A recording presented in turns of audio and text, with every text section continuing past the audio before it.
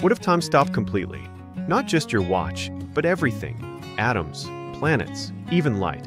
The universe freezes for a second. Sounds simple? It's a terrifying physics idea. If time stopped entirely, motion would cease. Without time flowing, nothing could move, not even atoms. Temperature would plummet to absolute zero. Einstein showed time and space are connected as space-time. If time stops, this fabric tears. Gravity collapses, light can't travel, and energy loses all meaning. The universe dissolves quickly. Time can slow down significantly. Near a black hole, time stretches dramatically. Time dilation has been proven with atomic clocks and GPS satellites.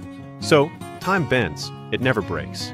Next time you stare at a clock, remember, you're not just watching time pass, you're surfing it. Every second is a ripple in reality. This is Science Capsule, where big questions meet brilliant answers.